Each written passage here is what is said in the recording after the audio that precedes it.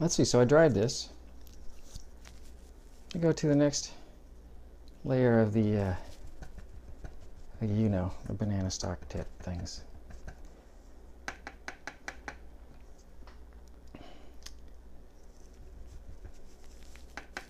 And I, I, I guess one point I want to make is that, you know, I'm certainly artificially creating the notion of one color stops and one color starts, you know, the banana. But as you can see, that's that's not exactly how it happens, how it works. I mean, there's a, there's always sort of transitional things going on and things reflecting against each other. Um, so these are definitely, you know, sort of overarching ideas of what something will be, and we'll keep keep understanding more about how one kind of fades into another or or doesn't, and what effect that has. And um, I didn't really need to wipe that away now that I think about it, but because um, I'm going to mix up some more uh, of the Azo yellow and some quinacridone burnt orange, and I want to start graying, dulling it out. So there's a couple ways I could do that. I could start just introducing some indigo, which is sort of like introducing a black, but um, I want to introduce the, uh, the, the, so a little bit of blue, which is the complement of orange. So um, it will start making it a less less sort of pure happy orangey brown and more of a dulled out grayish brown.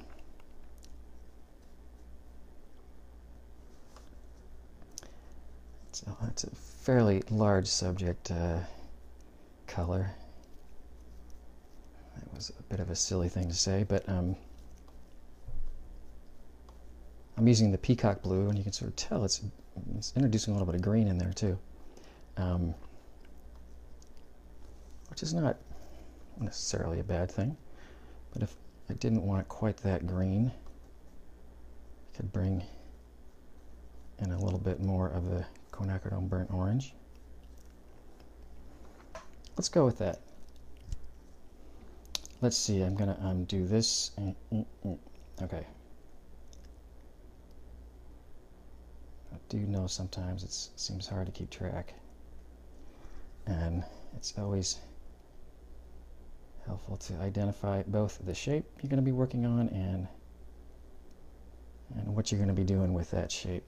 If you're going to be what you're going to be doing value-wise, lighter to darker, or what you're going to be doing hue color-wise, yellow to orange, for example. What you may be doing temperature-wise, something with a little more orange and yellow in it, or something with a little more blue in it.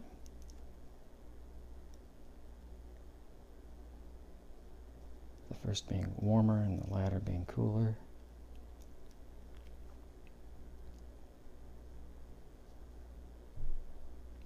So actually that that's kind of a, it was a little bit too green at first and that was coming from well, several things.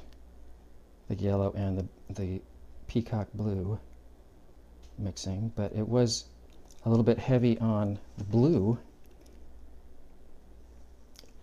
giving it, it a, a greenish feel. And I would consider that a cooler feel, a little bit more blue in there. And I wanted to warm it up a little bit. So I brought in a little bit more of the quinacridone burnt orange that has that's a, a warmer color, more orangey. Already has sort of yellow in it. Um, let's see, what are we gonna do with this guy? This this is, is turning out fun. Um, I think I may have done this, but sometimes it's when you're doing grays, and yeah, I, I really like what's going on here. Um, it's fun to just kind of mix up whatever the heck you happen to have in your palette, your extra color that you can uh, kind of play with. It's not going to make quite enough color or quite where I was thinking of going. Where I was thinking of going was um, was not a whole lot darker, but I wanted to. Um, so I'm going to mix in a little bit more indigo once again, just to make it. Um, heck, maybe maybe a little bit of ultramarine blue. Mm.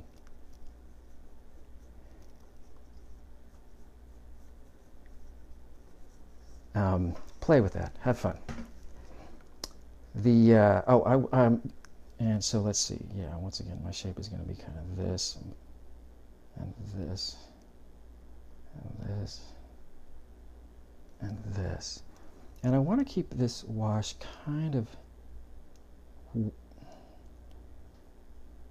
maybe a little watery than I might make it otherwise.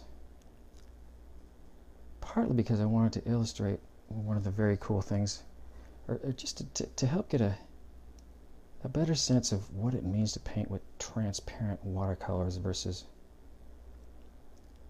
opaque oils and acrylics, both of which can be made to be much more transparent than they inherently are, so it's not like it's impossible to create transparency effects. But um, what I love about watercolor is when you have one effect happen, happening over um, two shapes and I'm saying two shapes by that rectangle and that rectangle. So we, we get to we get to see sort of that this this bloom was going all the way across here, but we're layering um, some transparent color onto this part, and and we can so we can still see through. We can see the effect of that bloom going through that whole shape. Sometimes it's exactly what you don't want, but oftentimes I, I think that's what gives watercolor part of its really cool personality. Um, kind of a similar, yeah, maybe, maybe a similar, not, not as, as clear going on down here, but just that whole notion of the appearance of one layer showing through um, is something that I think is really fun to play with.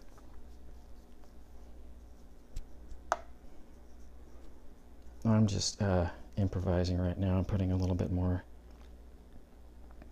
ultramarine blue and trying to not worry that it's really not that consistent as far as water wise and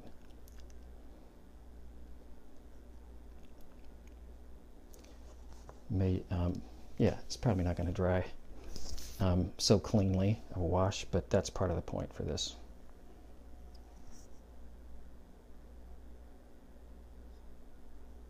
Okay